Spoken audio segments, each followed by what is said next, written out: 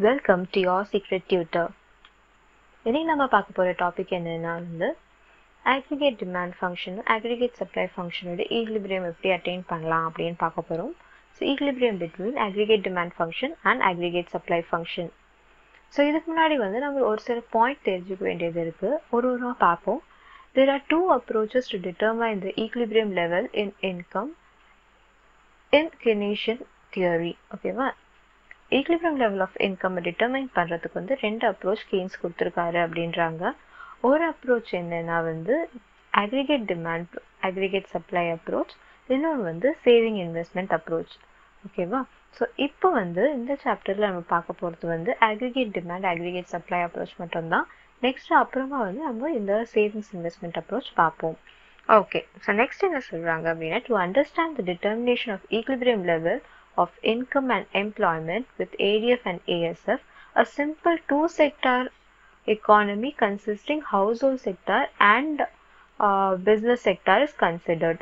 நம்ம வந்து இதை தான் வந்து எடுத்திருக்கோம். இட் இஸ் கன்சிடர் என்ன கன்சிடர் பண்ணியிருக்காங்கன்னா ரெண்டு டூ செக்டார் எக்கானமியை தான் கன்சிடர் பண்ணியிருக்காங்க பிஸ்னஸ் செக்டாரும் ஹவுஸ் ஹோல்ட் செக்டாரும் இந்த இக்லிபிரியமை புரிஞ்சுக்கிறதுக்கு. இக்லிபிரியம் எதுவும் எதுவும் income and employment okay so நம்ம ஆல்ரெடி நம்ம பார்த்துருக்கோம். ஏடி அக்ரிகேட் டிமாண்ட் ஃபங்க்ஷன் படிக்கும் போதும் பார்த்தோம். அக்ரிகேட் சப்ளை ஃபங்க்ஷன் படிக்கும் போதும் பார்த்தோம்.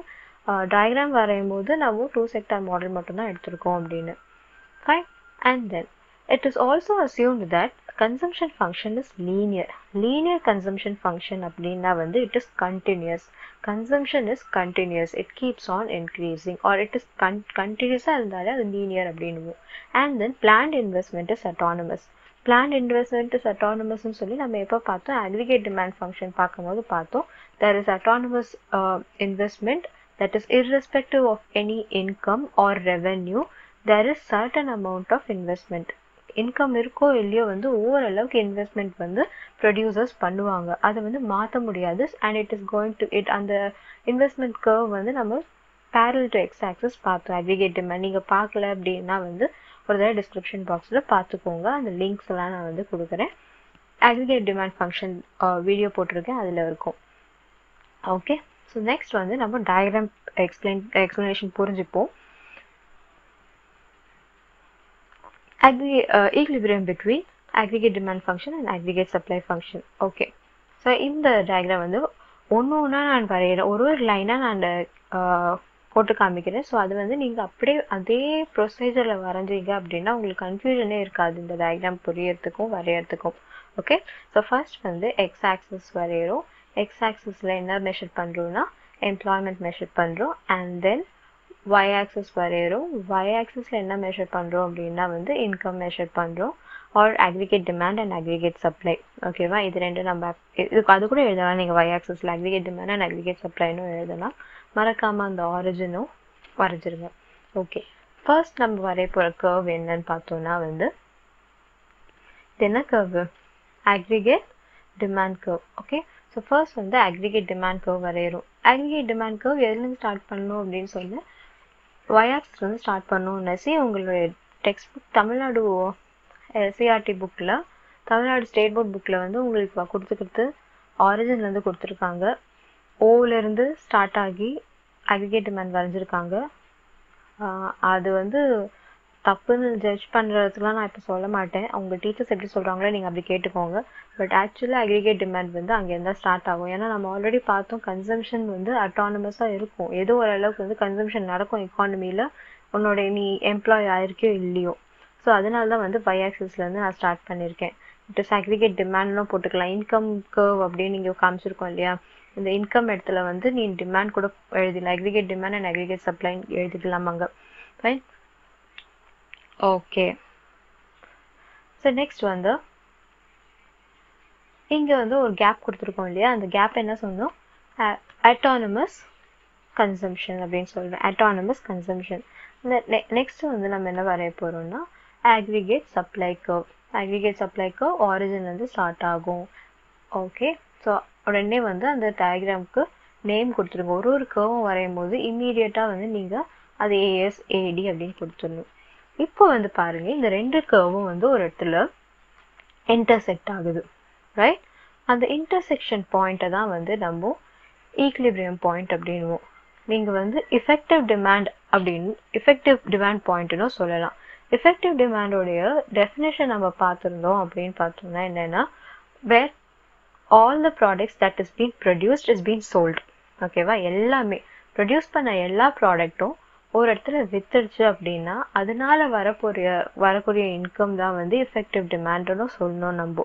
ஸோ இதில் வந்து ப்ரொடியூஸ் பண்ணதா எல்லாமே டிமாண்ட் பண்ணி அவங்க வாங்கியிருக்காங்க அப்படின்றாங்க. இல்லை டிமாண்ட் பண்ணது எல்லாம் எல்லாமே வந்து ப்ரொடியூஸ் பண்ணி அவங்க வித்துட்டாங்க. So that is if effective demand point so அதை தான் வந்து நம்ம ஈக்லிபிரியம் பாயிண்ட்னு சொல்லிட்டு ஈன்னு மென்ஷன் பண்ணுறோம் ஸோ இந்த லெவலில் வந்து ஈக்லிபிரியம் பாயிண்ட் லெவலில் வந்து எவ்வளோ எம்ப்ளாய்மெண்ட் எவ்வளோ எம்ப்ளாய் பண்ணியிருக்காங்க எத்தனை பேர் எம்ப்ளாய் பண்ணியிருக்காங்க அப்படின்னா வந்து என் நாட் அளவுக்கு எம்ப்ளாய் பண்ணியிருக்காங்க ஓகே நம்ம வந்து கீன்ஸ் தியரி ஆஃப் எம்ப்ளாய்மெண்ட் பார்க்குறோம். இதில் வந்து தெரிஞ்சுக்க வேண்டியது இருக்குது கீன்ஸ் என்ன சொன்னாருன்னு ஞாபகம் வச்சுக்கோங்க. In capitalist economy there is no full employment ஓகேவா இந்த மாதிரி எம்ப்ளாய்மெண்ட் நடக்கிறதுக்கு சான்சஸ் இருக்குது எஃபெக்டிவ் டிமாண்ட் நடக்கும். ஆனால் இது வந்து ஃபுல் எம்ப்ளாய்மெண்ட் கிடையாது அப்படின்றாங்க. இரு நான் சொல்ல சொல்ல புரியும். ஏன்னா நம்ம ஃபுல் எம்ப்ளாய்மெண்ட் நடக்கும்போது நம்ம ஏஎஸ் கர்வ் என்ன பார்த்தோம். ஏஎஸ் கர்வ் வந்து வெர்டிக்கலாக போகிறத பார்த்தோம். பார்க்கலாம். ஓகே ஸோ நான் இப்போ பாருங்க.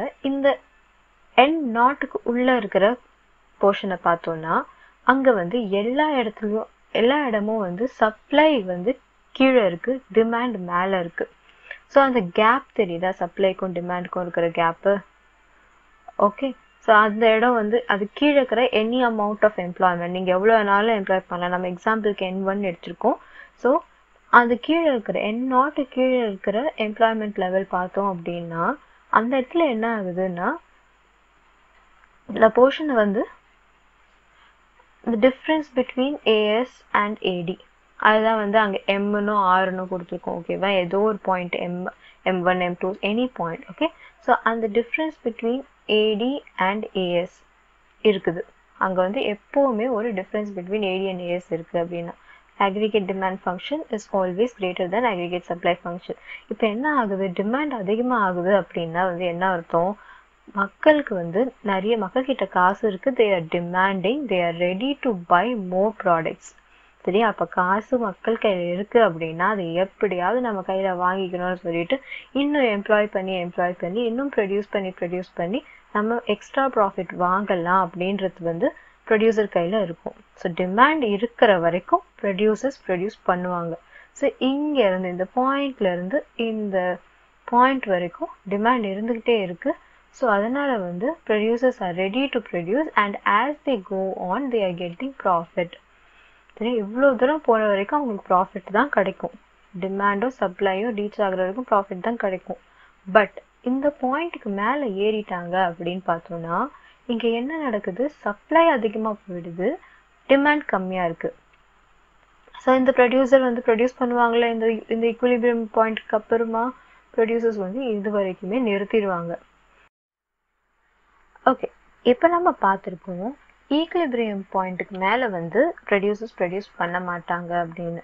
சரி இந்த டயக்ராம் கிளியராக புரியணும்னா ஏஎஸ்ஏடினா என்ன அப்படின்றத த தெளிவாக புரிஞ்சுருக்கணும் அப்படி உங்களுக்கு அது தெரியல அப்படின்னா வந்து அதை படிச்சுட்டு வந்து இதை பாருங்கள் அதனுடைய லிங்க் நான் ஆல்ரெடி டிஸ்கிரிப்ஷனில் போட்டிருக்கேன். நான் முன்னாடியே சொல்லிட்டேன். பார்த்துட்டு வாங்க உங்களுக்கு கிளியராக புரியும். ஓகே இப்போ ஏஎஸ் கர்வ் பார்த்தோம். ஆல்ரெடி படித்து புரிஞ்சிருக்கு அப்படின்னு பார்க்கும்போது ஏஎஸ் கர்வ் வந்து இது எப்படி இருக்குது லீனியராக இருக்குது சரியா? லீனியராக இருக்குது ஆனால் அது ஒரு பாயிண்டில் வந்து நம்ம G one G two curve பார்த்தோம். இல்லை ஜி ஜி ஒன் கர்வ் பார்த்தோம். அது ஜி ஒன் கர்வ் என்ன ஆச்சுன்னா அது லீனியராக போயிடுச்சு. லைக் அதுக்கப்புறம் வந்து நான் லீனியராக ஆயிடுச்சு. ஸோ இந்த பாயிண்ட் ஏஎஸ் அக்ரிகேட் சப்ளை எப்போ நான் லீனியராக ஆகுதோ அப்போ தான் வந்து ஃபுல் எம்ப்ளாய்மெண்ட் ரீச் ஆகும் அப்படின்றாங்க.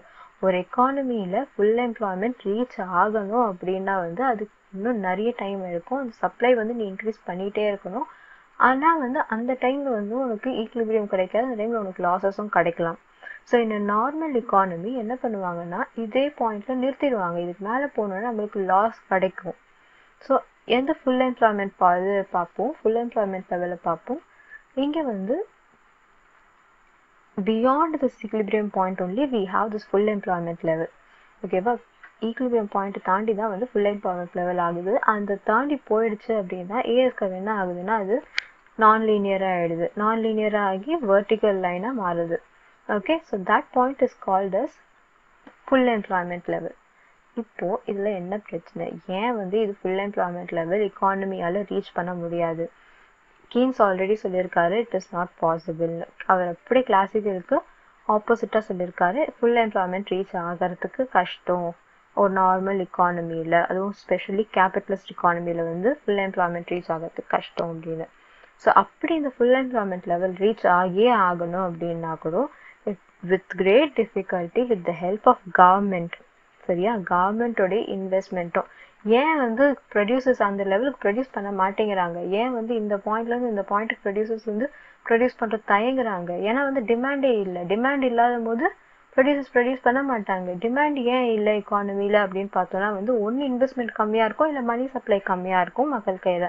ஸோ இந்த டிமாண்டை இன்க்ரீஸ் பண்ணால் மட்டுமே வந்து ஃபுல் எம்ப்ளாய்மெண்ட் லெவல் ரீச் ஆகும். அதுக்கு யார் வேணும்? அதுக்கு நம்மளுக்கு கவர்மெண்ட் சப்போர்ட் வேணும். ஸோ அந்த கவர்மெண்ட் சப்போர்ட் இதுதான் வந்து டிப்ரெஷன் டைமில் இப்படி தான் கிளாசிக்கல் எக்கானமி சொன்னாங்க. ஃபுல் எம்ப்ளாய்மெண்ட் இருக்குது ஃபுல் எம்ப்ளாய்மெண்ட் இருக்குது ஆனால் என்ன ஆகுது? டிப்ரெஷன் டைமில் டிமாண்ட் கம்மியாக இருந்திருக்கு. ஸோ டிமாண்ட் இன்க்ரீஸ் பண்ணணும் அப்படின்னா அதுக்கப்புறம் தான் வந்து கவர்மெண்ட் பம்ப் அவுட் பம்பின் பண்ணாங்க நிறைய மணியை ஸோ மணி இன்வெஸ்ட்மெண்ட் பண்ணால் தான் வந்து டிமாண்ட் இன்க்ரீஸ் ஆகும். டிமாண்ட் இன்க்ரீஸ் ஆனால் தான் வந்து ஃபுல் எம்ப்ளாய்மெண்ட் லெவல் ஆகும். So we need a increase in demand curve to reach full employment level so இது வந்து ரொம்ப டிஸ்டன்ட் ட்ரீம் மாதிரி. ஸோ இந்த மாதிரி டிமாண்ட் கர்வ் இன்க்ரீஸ் ஆகி கரெக்டாக ஃபுல் எம்ப்ளாய்மெண்ட் லெவலில் ரீச் பண்ணுறதுக்கு so normally in an economy underemployment தான் நடக்கும் அப்படின்றாங்க. ஸோ ஓலேருந்து என்எஃப் வரைக்குமே அண்டர் எம்ப்ளாய்மெண்ட் தான் இருந்திருக்கு. என்எஃப் ரீச் பண்ணால் மட்டுமே வந்து அங்கே ஃபுல் எம்ப்ளாய்மெண்ட் லெவல் ரீச் ஆகும். ஆனால் இப்போ நம்ம இன்னும் பார்த்தோம்னா ஓலேருந்து என் ஒன் வரைக்குமே என் நாட் சாரி ஓலேருந்து என் நாட் வரைக்கும் அன் அண்டர் எம்ப்ளாய்மெண்ட் நடந்திருக்கு. இவ்வளோ தூரம் அண்டர் எம்ப்ளாய்மெண்ட் இருக்குது இக்கானமியில் அன்எம்ப்ளாய்மெண்ட்டும் இருக்கிறதுக்கு நிறைய சான்சஸ் இருக்குது அந்த அன்எம்ப்ளாய்மெண்ட் தான் வந்து என் நாட்லேருந்து என்எஃப் வரைக்கும். ஏன்னா ப்ரொடியூசர்ஸ் இதுக்கு மேலே எம்ப்ளாய் பண்ண ரெடியாக இல்லை. இந்த பாயிண்ட்டுக்கு மேல் ப்ரொடியூசர்ஸ் எம்ப்ளாய் பண்ண ரெடியாக இல்லை. ஸோ இந்த பாயிண்ட்லேருந்து இந்த பாயிண்ட் என்னது? அன்எம்ப்ளாய்மெண்ட்டு என் நாட் கீழே இருக்கிறதுலாம் வந்து அண்டர் எம்ப்ளாய்மெண்ட்டு ஏன்னா நம்மளோட ஃபுல் எம்ப்ளாய்மெண்ட் லெவல் எங்கே இருக்குது இங்கே இருக்குது ஸோ எக்கானமியில் கீன் சொன்ன மாதிரி there is no full employment there can be underemployment or unemployment underemployment என்னது? என் நாட் கீழே இருக்கிற போர்ஷன் லைக் அதுக்கு லெஃப்ட் சைடில் இருக்கிற போர்ஷன் அன்எம்ப்ளாய்மெண்ட் என்னன்னா வந்து என்ஆட்லேருந்து என்எஃப் வரைக்கும் அன்எம்ப்ளாய்மெண்ட் அப்படின்றாங்க. சரி கொஞ்சம் பாயிண்ட்ஸ் அதுக்கப்புறம் பார்த்துடலாம். என்னென்ன பாயிண்ட்ஸ்லாம் புக்கில் கொடுத்துருக்காங்க அப்படின்னு இந்த டயக்ராம் புரியுதா? இல்லைன்னா இன்னொரு தடவை கேளுங்க. புரியல. எந்த பாயிண்ட் எந்த இடத்துல புரியலையோ வந்து கண்டிப்பாக கமெண்ட் செக்ஷனில் தெரிய வைங்க. நான் எக்ஸ்பிளைன் இட் ஸோ நெக்ஸ்ட் என்ன இந்த டயக்ராம் வச்சு பார்ப்போம். ஸோ எஃபெக்டிவ் டிமாண்ட் அப்படின்ற தான் வந்து இங்கே இ e பாயிண்ட் அப்படின்னு சொல்லி பார்த்தோம். ஸோ இங்கே சென்டென்ஸ் என்ன கொடுத்துருக்காங்கன்னா the concept of effective demand is more clearly shown in this ஃபிகர்னு demand எங் டிமாண்டும் சப்ளையும் மீட் ஆகிற இடம் வந்து ஈக்குலிபிரியம் பாயிண்ட் எஃபெக்டிவ் டிமாண்ட் அப்படின்னு சொல்லிட்டாங்க. E-, எஃபெக்டிவ் டிமாண்ட்னா என்னன்னு சொல்லி பார்ப்போம். எஃபெக்டிவ் டிமாண்ட் அப்படின்னா கீன்ஸ் சொல்லியிருக்காரு. Effective demand signifies the money spent on consumption of goods and services யார் கன்சம்ஷன் பண்ணுவாங்க அப்படின்னா ஹவுஸ் ஹோல்ட் செக்டார்லேருந்து குட்ஸ் அண்ட் சர்வீசஸ் ஸ்பெண்ட் பண்ணுறாங்க அதுக்கப்புறமா இன்வெஸ்ட்மெண்ட் யார் பண்ணுறாங்கன்னா ஃபர்ம் இன்வெஸ்ட் பண்ணுறாங்க ஸோ ரெண்டு சைட்லேருந்து எக்ஸ்பெண்டிச்சர் நடக்குது. அப்புறமா யா ரெண்டு சைடுக்கும் இன்கம் கிடைக்கும். கரெக்டாக அந்த டோட்டல் எக்ஸ்பெண்டிச்சர் இந்த இவங்க ஸ்பெண்ட் பண்ண எக்ஸ்பெண்டிச்சர்லாம் தான் வந்து நேஷ்னல் இன்கம் அப்படின்றாங்க. Because whatever is they are sell spending they are again getting it back as income revenue இவங்களுக்கும் ஹவுஸ் ஹோல்ட் செக்டாருக்கும் எம்ப்ளாய்மெண்ட் கிடச்சி இன்கம் கிடைக்குது. பிஸ்னஸ் செக்டாருக்கும் வந்து சேல்ஸ் மூலயமா ரெவென்யூ கிடைக்குது. ஸோ என்ன ஆகுதுன்னா the expenditure is equal to income அப்படின்றாங்க. ஸோ வந்து டிமாண்டும் சப்ளையும் மீட் ஆகிற இடம் தான் வந்து எஃபெக்டிவ் டிமாண்ட் அப்படின்னு சொல்கிறோம் so aggregate demand next point பாருங்க, the aggregate demand and aggregate supply reaches equilibrium at point E அந்த பாயிண்ட் e இயை தான் நம்ம என்ன சொல்கிறோம் எஃபெக்டிவ் டிமாண்ட்னு சொல்கிறோம் ஸோ இதில் தெரிஞ்ச வேண்டிய பாயிண்ட் என்னென்னா employment level O naught the employment level is O naught at that point so இந்த பாயிண்டில் வந்து ஓ நாட் அப்படின்றாங்க. But thus effective demand concept becomes a crucial point in determining the equilibrium level of output in the capitalist economy in Keynesian system. So, இங்க என்ன பண்ணியிருக்கோன்னா equilibrium பாயிண்ட்டை தான் வந்து determine பண்ணியிருக்கோம். ஃபுல் எம்ப்ளாய்மெண்ட் லெவலில் டிட்டர்மைன் பண்ணல. ஏன் சொல்லியிருக்கோம் அப்படின்னா வந்து கீன்ஸ் தியரி படி ஃபுல் எம்ப்ளாய்மெண்ட் கேபிட்டலிஸ்ட் இக்கானமியில் இருக்காது. There will be either unemployment or underemployment இந்த ரெண்டு விஷயத்தை பற்றி தான் வந்து கீன்ஸ் சொல்லுவார். ஒரு இக்கானமியில் அண்டர் எம்ப்ளாய்மெண்ட் இருக்கும் இல்லை அன்எம்ப்ளாய்மெண்ட் இருக்கும் அப்படின்னு. ஸோ நெக்ஸ்ட் பாயிண்ட் பாருங்க. It is important to note that equilibrium level of employment need not be full employment level it need not பின்னு தான் சொல்லியிருக்காங்க ஓகேவா it need not be full employment level அப்படின்றாங்க. ஏன்னா வந்து ஒரு இந்த டிமாண்டை வந்து புஷ் பண்ணால் மட்டுமே தான் வந்து ஈக்லிபிரியம் லெவல் ஃபுல் எம்ப்ளாய்மெண்ட் லெவலில் ரீச் ஆகும். பட் நார்மலி ஈக்லிபிரியம் லெவல் வந்து இந்த ஃபஸ்ட்டு டிமாண்ட் கர்வ்லேயே வந்து ரீச் ஆகிடும் இந்த டிமாண்ட் கர்வ் கொண்டு வர்றது வந்து it is nearly or it is very difficult in an economy அப்படின்னு சொல்லலாம். ஓகே ஸோ நெக்ஸ்ட் பாயிண்ட் பாருங்க. It is understood that the difference between N naught and N F டயக்ராமில் பாருங்க. N naught and N F is the level of unemployment N நாட்லேருந்து NF வரைக்கும் unemployment NF கீழே இருக்கிறது. N naught கீழே இருக்கிறதுலாம் வந்து underemployment so there is no full employment level reached in capitalist economy according to Keynes theory. சரியா? Keynes theory படி full employment reach பண்ணுறது வந்து ரொம்ப ரொம்ப கஷ்டம் அப்படின்றாங்க he. Totally against the classical economist so வந்து இப்போ நம்ம என்னெல்லாம் பார்த்துருக்கோம்? அக்ரிகேட் டிமாண்ட்னா என்னன்னு பார்த்தோம். அக்ரிகேட் சப்ளை ஃபங்க்ஷன்னா என்னன்னு பார்த்துருக்கோம். எஃபெக்டிவ் டிமாண்ட் இது எல்லாத்துக்கும் முன்னாடி பார்த்துட்டோம். கீன்ஸ் தியரி ஸ்டார்ட் பண்ணும்போதே இதை தான் பார்த்தோம். நெக்ஸ்ட் வந்து இப்போ equilibrium between ADF and ASF aggregate demand function and aggregate supply function தெளிவாக படித்தாச்சு முன்னாடி இருக்கிறதுலாம் ரிவைஸ் பண்ணும்போதோ எப்போ பண்ணும்போதோ வந்து முன்னாடி இருக்கிற வீடியோலாம் வந்து கண்டிப்பாக பார்த்து புரிஞ்சுக்கோங்க. So that's all for this equilibrium between ADF and ASF so thank you you were with your secret tutor உங்களுக்கு பிடிச்சிருந்தது அப்படின்னா வந்து லைக் பண்ணி எனக்கு தெரிய வைங்க. நெக்ஸ்ட் வீடியோ நான் அப்லோட் பண்ணும்போது உங்களுக்கு உடனே நோட்டிஃபிகேஷன் வரணும் அப்படின்னா வந்து சப்ஸ்கிரைப் பண்ணி அந்த பெல் பட்டனையும் கிளிக் பண்ணிவிடுங்க தேங்க்யூ வெரி மச்